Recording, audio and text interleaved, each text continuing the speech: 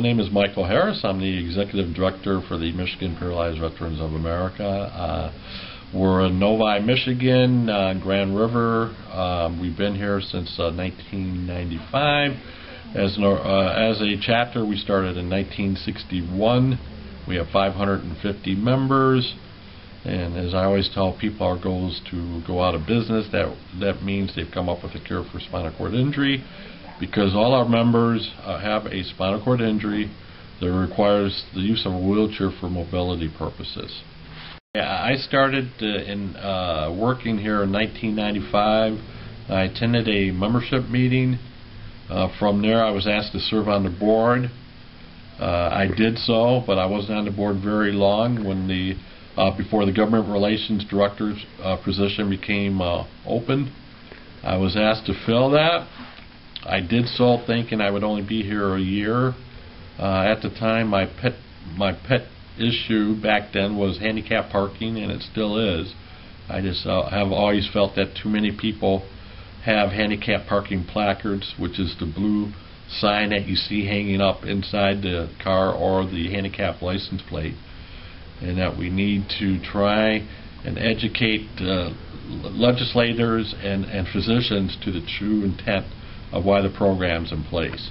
Uh, so that that's still a struggle, but hopefully down the road we can uh, make some improvements there. But uh, I was government relations director uh, for uh, from 1996 to 2007 and then I was uh, asked to become the executive director, and I've been the executive director ever since. Uh, yes, uh, one of the things that we do that separates us from other veteran service organizations is the fact that our members are in wheelchairs. Uh, so we see having access to one's community as a quality of life issue. So we're very proactive when it comes to working with the business community and trying to educate them to the advantages of making their place accessible and accommodating for someone in a wheelchair. Uh, not only does it increase business, but we also try and let them know that there are tax incentives for them to make their place accessible. Uh, either a tax credit of $5,000 or you can deduct up to 10,000 a year that uh, that goes towards, you know, that can be used towards uh, anything done to make the place accessible. Uh, historically, we we have worked. Uh, we, we, as I said, we try to be proactive. We we have worked with, uh, for example, uh, when Comerica and Ford Field was being built, we got together with the management from the, for the Detroit Lions and uh, Detroit Tigers, and uh, we, we we tried to educate them that uh, stadiums that were being built then throughout the country were not being built in compliance with the Americans with Disabilities Act. And we wanted to avoid that here in Detroit. So we explained to them that uh, by being proactive, by allowing for the creation of a disability advisory board, we could be a resource that could educate you to the issues that impact the disabled community so we could avoid the pitfalls that you know that others had experienced throughout the country and uh, and it was turned out to be very successful. Both stadiums, uh, at the end of the day, are very accommodating for anyone with a disability. So that was a positive for us. Uh, you know, when when you look back at the at both projects, the one thing that stands out is that uh, the Ford family and the Ilitch family came to the forefront and and and and really were proactive in ensuring that the final outcomes were accommodating for everyone with a disability. Yeah, when, when speaking of numbers of people disabled, uh, the national number that uh, is thrown out there is 54 million Americans have a disability, uh, which comes out to about 18% of the population. So if you incorporate that in the state of Michigan, where we have 10 million people, uh, that means 1.8 million Michiganders are considered disabled. Uh, if you take that further, I was looking at the 2000 census where the city of Detroit, 30% uh, of their population is disabled. And I contribute that to the fact that probably a lot of people in Detroit don't have health care. And so something that is minor at the onset becomes a major issue because they're not able to deal with it, uh, you know, when they initially have the, you know, the issue, medical issue. Uh, one of the things that people don't realize is that most most people you talk to think that we're supported by the federal government. That is not true. I wish we were. That would make life easier for us.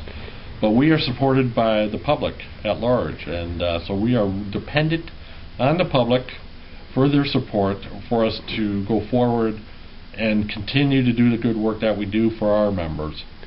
Uh, as I as I indicated earlier, what separates us from other veteran service organizations is the fact that we do advocate for our members, uh, where the other ones strictly are about getting the benefits for their members. We're we also, you know, take that issue seriously, but we're we're heavily involved in advocating for our members so uh, they can, uh, you know, access the communities that they, that they uh, live in. Uh, yes, uh, the, the, thing that we would like uh, to do as we go forward in, in, 2011 is to work with the medical community to make them aware of the fact that you know when it comes to accommodating someone with a disability, it's not only about physical access into the uh, facility itself, but it's, it's, about having access to the uh, examination room. So the exam table, for example, has the ability to go up and down so someone like myself can transfer onto it.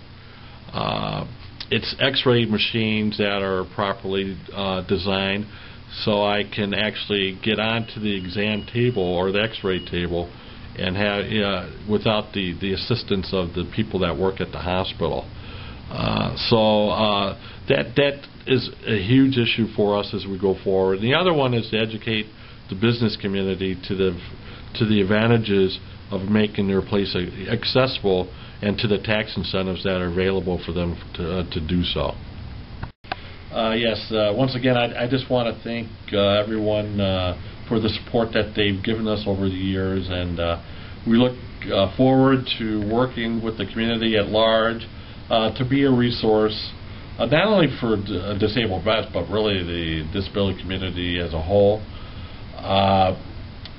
if, if for whatever reason that you have issues, uh, especially if they're spinal cord related, uh, feel free to give us a call. We have resources available that can help you uh, get through the uh, uh, the challenges that are associated with a spinal cord injury. And uh, feel free to go to our website, michiganpva.org, and we have more information on there that can edu educate you and, and, give you more information on what we're about. Yeah, this is uh, Michael Harris, uh, wanting to thank you for uh, the opportunity to uh, educate you on what, what we're about and what we do here at uh, PVA for the uh, community at large and especially for veterans with spinal cord injury. Thank you.